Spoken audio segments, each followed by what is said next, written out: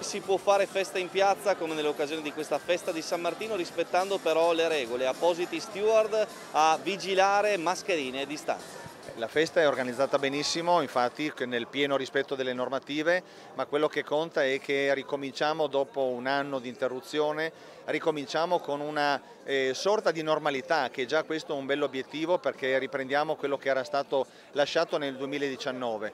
Quindi io ringrazio veramente tutti gli esercenti, tutti gli imprenditori che si sono messi in gioco per eh, dare un tocco di qualità a questa manifestazione che riprende il, il, il territorio, la tradizione del territorio, i prodotti del territorio territorio, il chilometro zero e quindi una, è una, una, festa tutta da vedere. Io eh, allargo l'invito ovviamente anche a, ai cittadini di Trieste e a quelli della vicina Slovenia. Inaugurata oggi, giovedì 11 novembre, a Muggia la festa di San Martino e antichi sapori d'autunno. Fino al 14 novembre in piazza Marconi sarà allestito il villaggio di San Martino con prodotti tipici, degustazioni, mostre e varie attività ospitate nelle tradizionali e suggestive casette di legno. Beh, intanto si potrà trovare un momento di convivialità e di condivisione che ci mancava da, da tanto tanto tempo. 12 casette, 11 espositori imprenditori, un'associazione, tanti amici anche della Slovenia che sono qui ad offrire i loro prodotti e la loro allegria.